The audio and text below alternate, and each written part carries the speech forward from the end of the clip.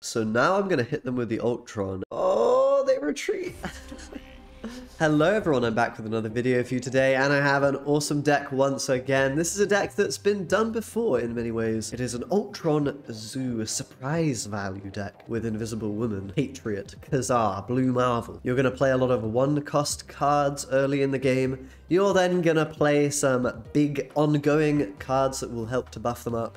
You're going to protect them with Invisible Woman, protect the one cost with armor, and then you're going to slam the Ultron on the final turn to overwhelm the opponent with those very high power drones benefiting from the Patriot Ka-Zar Blue Marvel buff. This deck is very nice for consistently gaining cubes. It's difficult for the opponent to know what is going on with that Invisible Woman. But anyway, let's just run through the card choices real quick here, and we can jump into some gameplay. So the first card we have is Ant-Man. This is a great one-cost card. It's just consistent, reliable for points of value when you are playing with Ultron that can easily fill up the locations for you. Next we have Sunspot for those situations where we sometimes miss our two or three cost card perhaps and just want to get a bit of extra cheeky power on the board and potentially uh, dissuade the opponent from playing into that location as we can always get extra strength there. We've got Iceman as well, this is good early game of course, disrupting the opponent, same situation with the Korg, both very good at putting a bit of a wrench in the cog. Uh, is that is that a saying? I don't know. It might be, but if it is, we're putting a wrench in the cog of the opponent's machine uh, that is their deck. Next we have Zero. This card is a little awkward sometimes, uh, as you'll see later in the gameplay here. but uh, yeah, try not to disable your own units. Be careful with Zero and Invisible Woman, because if you Zero on the final turn, whatever. You'll figure out how that works yourself, I'm sure.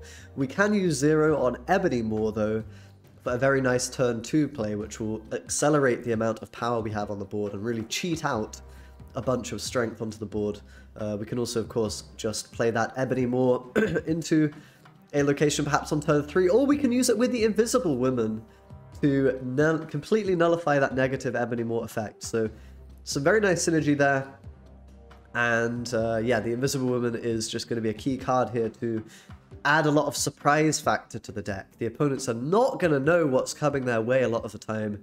You can play Invisible Woman and all of your other great cards behind it to keep that, that secret uh, value hidden. Next we've got Armor, of course this is good for protecting all those one costs from Killmonger and that kind of thing. Of course you can also throw them behind Invisible Woman to protect them, so that's pretty nice. We've got Patriot in there. He's only really good with the Ultron, so some games he won't be super good and you might just find yourself having to retreat if you don't draw the Ultron for turn 6, if you've played that Patriot already.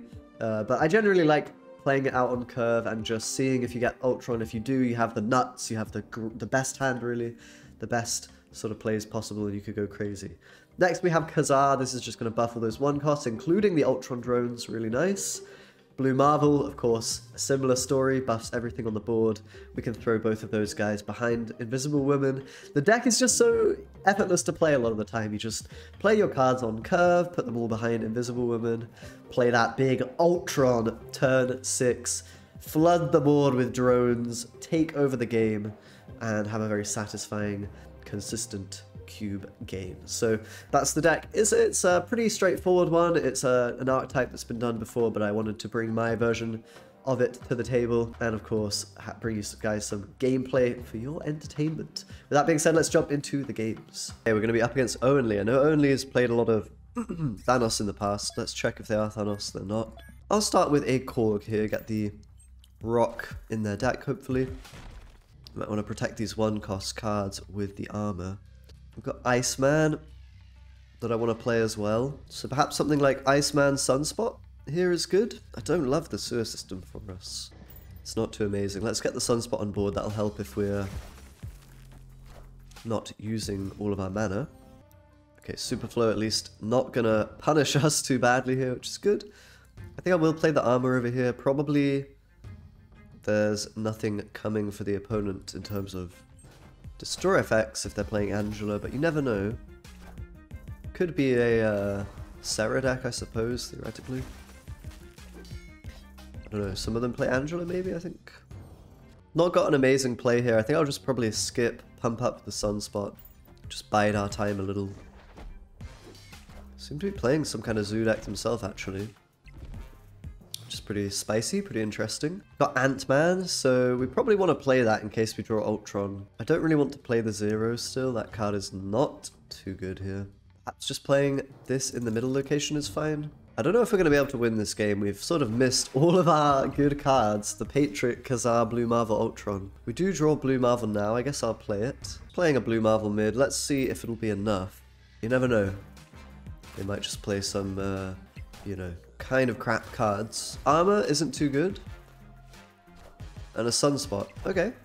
So actually ending up playing the Rock might win us the game here. nah, it wouldn't have mattered. So we do get the win on a, another zoo deck. The Korg seemed to brick them up, which is good. Somebody rocking the new Valentine themed avatar. Could play Ebony Maw here. I don't mind it because we have Strange Academy, so we just end up moving the Ebony Maw. Maybe let's play it not in the Strange Academy, just so that we have a bit more flexibility when it comes to where we play cards. Downside here is I cannot armor my Ebony Maw, which might come back to bite us. Okay, we drew Ultron. I'll play Armor left. Patriot would be a great draw now, then we could curve Patriot, Ka-Zar, Blue Marvel. Have a really nice time there. Gonna be a Zabu from the opponent. Wakanda, okay, that's nice. We won't lose our Ebony Maw. Invisible Woman is fine, I think. We can simply go ahead and play that again. Can't play it over here in the right because of Ebony, so playing into the Strange Academy, we're just going to sort of see where the units go. It's not necessarily ideal. We'll probably end up playing Ultron perhaps in the middle. That would be the best for us at the end of the game. I'll go ahead and Ka-Zar now. I might, I might throw a snap onto this as well because they don't know what I've got. So it's quite threatening and they might think they're winning against the Invisible Woman. They might have an impression of what we're playing when that is not in fact the case. Although I am playing Ebony Maw Armor, so you would kind of imagine it would be potentially Ultron. But that's a little bit of logic required to get to that stage. Maybe a Luke Cage. That is bizarre with Zabu. Might be a Wong with the Zabu, I don't know. I'll just play my Blue Marvel. Very straightforward. This deck's easy to play, man. You just slam the cards. Finish with Ultron, of course. Provided not everything goes mid, then we should be in great shape. We can just refill this Strange Academy at the end with a huge amount of points. Actually gonna Magik now. Okay, that's a bit spooky. That's probably gonna mean Odin, I would imagine. Maybe Invisible Woman can save us though. Oh, that's a very interesting mechanic. Strange Academy didn't move these cards. I didn't know it worked like that. That is quite wacky. Let's go ahead and play Ultron then into Invisible Woman. The Invisible Woman might save us from this, uh, from this, you know, wombo combo that they've got coming.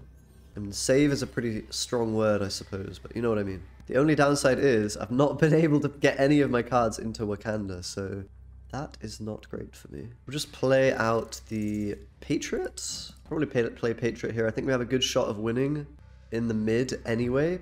We get the buff from... That being said, you know what? Maybe let's go for the win in the in the right and the mid. And to do that, we can play picture over here. And then we can go Ant-Man mid and just zero or something like that. Yep, that should be good. Of course, every single Ultron drone is going to be buffed by four points. So a pretty considerable amount of strength coming in at the end. Oh no! Did I just play zero? What have I done? What have I done? What have I done? oh my goodness me, we're actually gonna deny our own Ultron because I'm an absolute doofus. But we're gonna be fine anyway. Good heavens, what have I done? Don't do what I just did. Deck's actually kind of a challenge. You have to not zero your own units, it turns out. Okay, we can go with armor in the cloning vats just to protect our board. I like that. You know, get double armor online. And perhaps armor in the left as well. To be a goose coming in, okay. That'll not affect us too badly as we are, of course, a zoo deck. I'm going to snap on Jotunheim. That's really good for me. and we'll get a cheeky little win there. And now we have a rematch, so this time without, perhaps, the Jotunheim start could go zero, turn one, but um, perhaps we just want to go for the Invisible Woman lane of play. In this particular game, Sunspot is going to be the card that the opponent drops turn one. And Ka-Zar coming into the hand, that is really good. Zero can definitely be awkward sometimes, but I think having that payoff for Ebony Maw is just so worth it when you do manage to get that. So we'll Invisible Woman up. We The opponent doesn't really know what we're playing other than armor plus Korg, so... Oh, Washington DC is really good for me. Could go zero plus armor here. I think I like it. In fact, we can get the armor value in Washington DC if we want. You know, we can disable its effect. I think I like that play. Get some extra points. Of course, the Ultron will kind of work in the Washington DC anyway, so this might be a bit of... I mean, we get we get the value, so it's fine. I'll play Ka-Zar in the middle. Of course, we've dodged the Juggernaut. Quite interesting cards the opponent's running here. We know they're probably... They've got a Goose, kind of hard to say exactly what they're playing. Okay, do we want to just jam the Patriot now, perhaps? We can do something like this. It's going to be tricky for the opponent to know how many points we have. Alternatively, maybe we don't even play Ant-Man in the middle location here. Kind of feeling like a play like this could be good, and then just Ultron at the end. Hoping we can win the middle here. We know they play Aero, which is a bit scary, isn't it? But I don't know that Aero really affects my Ultron too badly. Because if they move it away, my Ant-Man will still go up in strength and will win us the location. We do have a fair amount of points in the left. Let's see. Maybe they play Aero and sort of lose the game as a result. I'm not going to snap though because there's a fair chance we could lose here. They are going to arrow us. So that means we're winning right. And just an Iceman. I think we got this one in the bag. Very nice. Maybe could have gone for a snap there. The Aero play was quite predictable, of course since we see it in our hand. the opponent doesn't even know we got that card from them. Very nice. Power of Ultron. In fact, it might have just been correct to play Ultron right every time there. I'm not sure. I guess not. I guess not. Okay, my camera's blurry. Hey, cut that out. Why is it blurry? Am I too close to it? I don't know.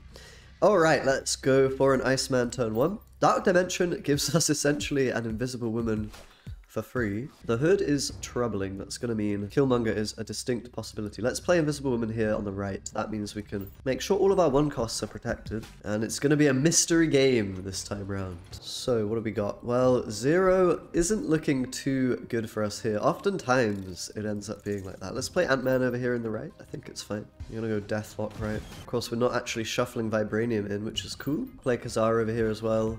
They're gonna Enchantress us, actually. That's pretty interesting. So my cards will flip over now. And we're gonna get a bunch of Vibranium. Not necessarily the end of the world. We can always just go with a cheeky Sunspot here if we want to. I don't really want to play the Zero. I suppose part of me would like to uh, play these cards into the left location, actually. Got to be very afraid of Killmonger here, right? So let's let's do this. Yes, we give up some points on the Sunspot, but I believe this will get Killmongered anyway, and we're going to play Ultron left. And we just have to pray that it's going to be enough. I'm not sure it will be. But okay, they're playing another one cost card. Interesting that Yondu can get rid of Vibranium. That's an interesting interaction, because he counts as destroying a unit for things like uh, death. But Vibranium says it can't be destroyed, so that's kind of interesting. Do you think we're winning the game here? Let's find out. No wave to be seen. I'm actually going to go ahead and snap... Ah, I can't really snap because we are revealing our cards first, so Killmonger would have really hurt us. They're going to wave us into the mid, that's kind of fine, we're winning the middle. That really comes down to, is there a Killmonger or not waiting for us in the Dark Dimension? If not, we should be good. There's a Demon and a Vibranium. Oh, not going to be good enough for the opponent. Take a nice win there. No Killmonger to be seen.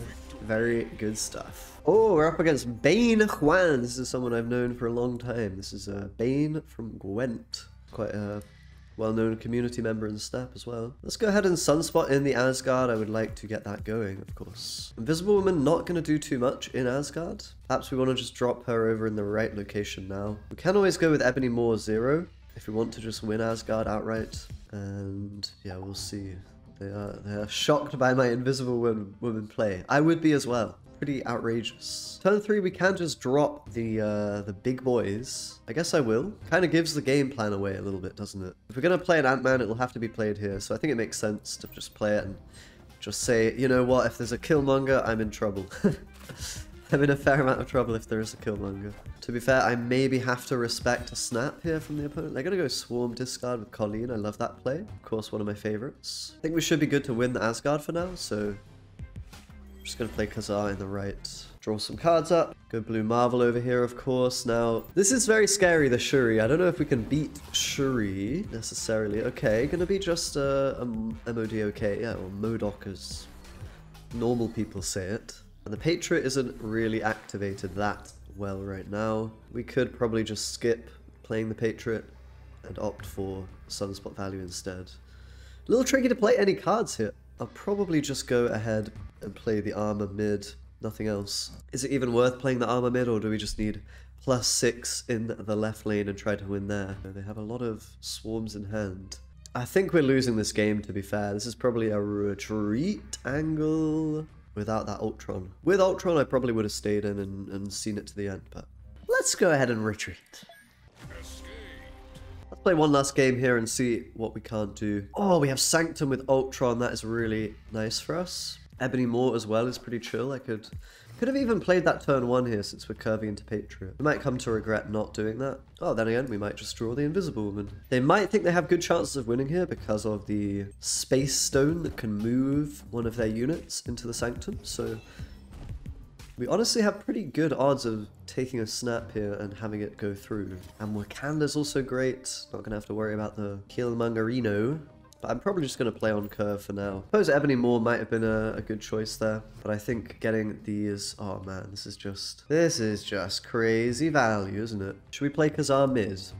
I'll play Blue Marvel in the right. I don't want to give away my game plan, that's the thing. I'm also worried about snapping just yet. They're going to move She-Hulk across. Perfect for us. Perfect. I'll go ahead and snap, and then we can play Blue Marvel in the right, I think. Just try to get as many Ultron bodies as possible, any as many drones, since they are being buffed by everything. Going to be plus four on all that stuff. So we've got 12 points in the left, and the opponent is going to have to retreat. Couldn't get some more cubes there, unfortunately. The infinite ranked players, they're just, they're just a little sneaky, aren't they? Anyway, that was some Ultron. I hope you guys enjoyed. Check out another video on the screen right now if you want some more gameplay. Uh, this deck worked very well, actually. I'm pretty damn impressed with it. Easy cube game, eh? Anyway, see you next time. Bye-bye.